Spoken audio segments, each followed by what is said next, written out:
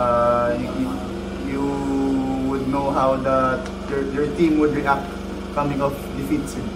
So uh, this, uh, sabi ko nga, let's uh, just, sabi ko sa team, sa players, to just take care of our business and do our jobs. And uh, let's get one game at a time, stay at the number three, or probably uh, slip in the number two spot. So uh, let's just take it one game at a time.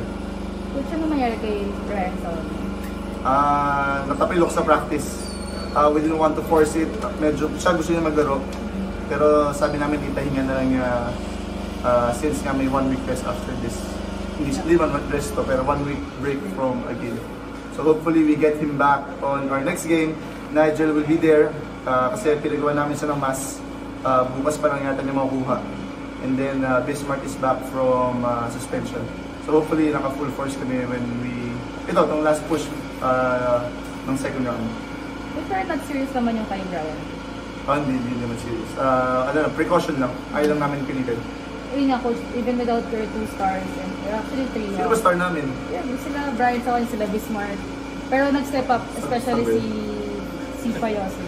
Your thoughts doon sa... Ah, yung well, Pai, Pai and Jong played well. Sabi ko nga, yung mga ganitong ball game against sa JRU, ito talaga ang game na they are uh, uh, made for against team that pressure hard. Uh, eh, ano sila, uh, attacker sila. eh. So, creating yung mga lanes for them to penetrate bagay talaga sa amin na yung game na ganito. Kaya no, no surprise naman na ano, maganda din ng dalawa.